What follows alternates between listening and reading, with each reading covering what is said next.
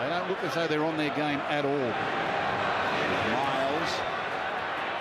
What are you thinking, Wall, coming up to the break with about 30 seconds to go? Well, New South Wales are way in front and the speed off their defensive line to target.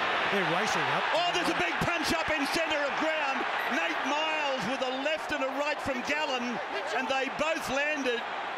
They both landed flush. There was a little push and shove, and then Gallen has landed left, right on the face of Nate Myles. Jared.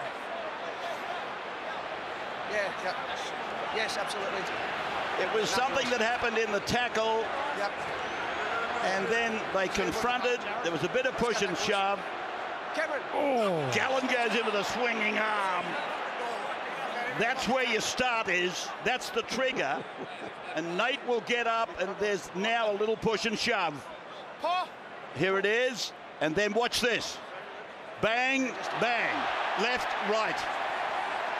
So this will be interesting to say the very least. Bang, bang again. Left, right from Gallen. Myles, Nate not expecting that.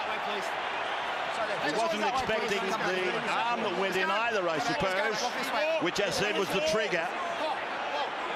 Mark, see, you move back. Move back. Yeah. Well, Yes. he might be in trouble here, Paul Gallen. Right, Paul, just over here, mate.